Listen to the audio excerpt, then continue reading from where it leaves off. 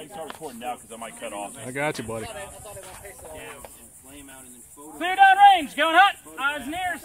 You understand the course? Photograph this. Go ahead and make ready. First. right here, because he says what makes a good rifle is that this and this line up perfectly for their pack to a pillar. And it's all slightly. Every single event, number one thing that you gotta do. They call it seven. Everything else over, Alright, give me a nod